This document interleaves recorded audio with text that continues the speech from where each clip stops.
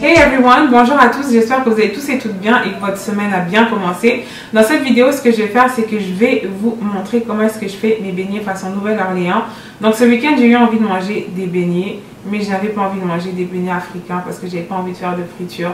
Donc j'ai triché un peu avec cela. Au lieu de les faire euh, frire, je les ai fait cuire au four et j'ai coupé la portion de sucre et la portion de gras. Donc après, c'est clair que c'est une question de préférence. Vous pouvez très bien doubler, voire même tripler les portions de sucre ou de gras, ou même les faire frire aussi, tout dépend de ce que vous aimez. Et euh, la différence entre ces beignets-là, je dirais, et nos beignets traditionnels africains, c'est que ce sont des beignets qui ont une texture qui est beaucoup plus légère, à mon avis, comparé à nos beignets traditionnels, mais ils sont tout aussi bons. Donc, euh, j'espère que cette vidéo vous plaira, et quant à moi, je vous retrouverai très bientôt. À see you guys later. Bye bye. Donc, je vais commencer en rajoutant l'eau de dans un grand bol. Ensuite, je vais ajouter la levure sèche active et je vais mélanger le tout pour commencer à activer la levure.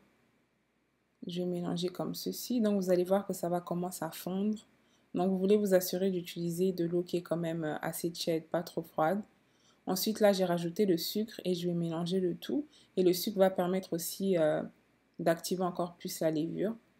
Après ça, on va tout simplement laisser reposer pendant 5 à 10 minutes et ensuite, ça va vous donner ce que vous voyez là. Donc, ça va vous donner une espèce de mousse en haut. Donc, quand vous voyez la mousse et les petites bulles, vous savez que vous êtes prêt à passer à la prochaine étape. Donc, dans un petit bol, je vais rajouter un œuf, comme ceci. Après, je vais rajouter le sel. Et ensuite, je vais rajouter l'arôme magie. Euh, excusez-moi, pas l'arôme magie, l'arôme vanille. je vais rajouter l'arôme vanille et je vais mélanger le tout. Donc, euh, vous allez voir que je vais quand même mélanger pendant pas mal de temps. Ça m'a pris quand même du temps pour mélanger. Je sais pas, j'avais vraiment envie de, de, bien avoir une euh, substance qui soit uniforme et homogène. Ensuite, après ça, ce que j'ai fait, c'est que j'ai tout simplement ajouté le lait évaporé, le lait écrémé. Et ensuite, on va mélanger le tout comme ceci. Alors dans la recette, vous n'avez pas vu quand je rajoute le zeste de citron et la muscade parce que j'avais oublié de filmer. Euh, donc là maintenant je rajoute le beurre et honnêtement je vous conseille de faire fondre votre beurre avant de le rajouter dans le bol. J'avais oublié de le faire fondre. Mais heureusement que je l'avais laissé quand même à température ambiante. Donc avec la farine, ça n'a pas fait de grumeaux. Euh, donc là, je vais rajouter la farine progressivement. Je rajoute d'abord une première fois.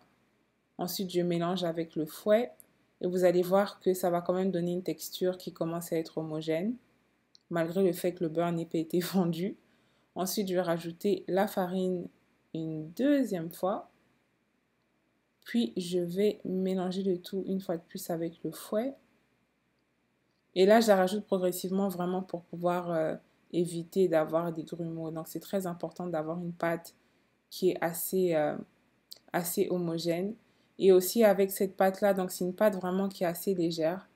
Hum, elle n'est pas lourde en tant que telle. Hum, donc là, je vais tout simplement rajouter la dernière portion de farine qu'il reste dans le bol.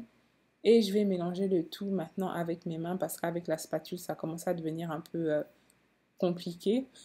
Donc euh, là, je suis tout simplement en train de mélanger avec mes mains, pétrir la pâte.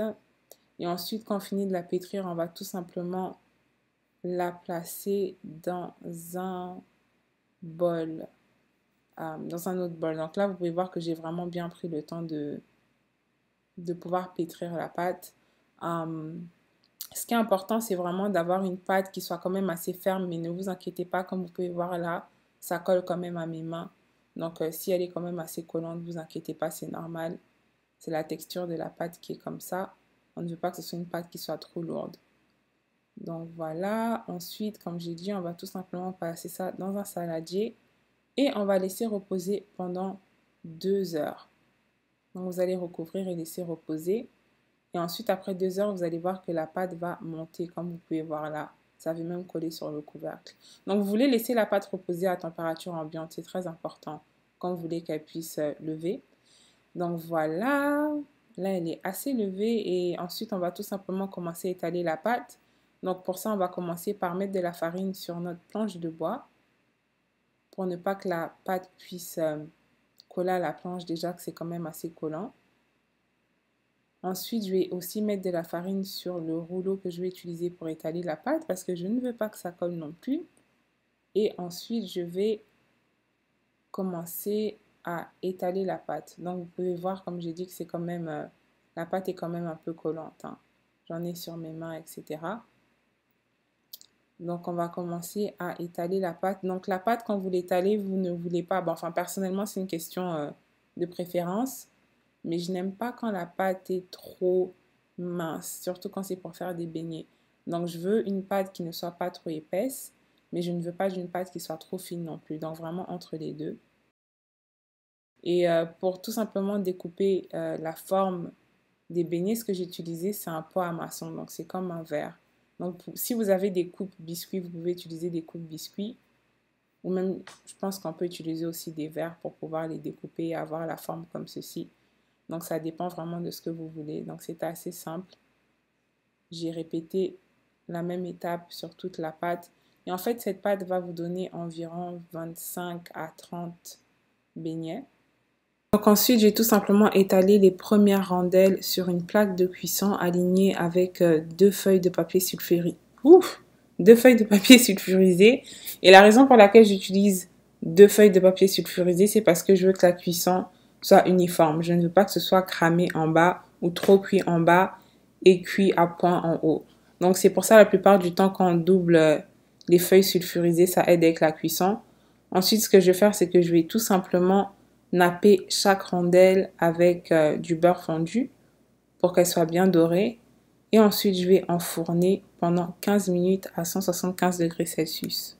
Une fois que les beignets sont prêts, il n'y a plus qu'à les sortir du four les laisser reposer pendant 5 à 10 minutes et ensuite les saupoudrer de sucre glace comme j'ai fait ici. Donc euh, la plupart du temps, c'est des beignets qui s'accompagnent très bien le matin avec un bon café, du thé, du chocolat, etc. Et la plupart du temps, surtout pour cette recette, étant donné que je n'ai pas mis autant de sucre, vous pouvez accompagner ça avec du Nutella, de la confiture, tout plein de bonnes choses. Donc j'espère que cette recette vous a plu et quant à moi, je vous retrouverai très bientôt. I see you guys later. Bye bye.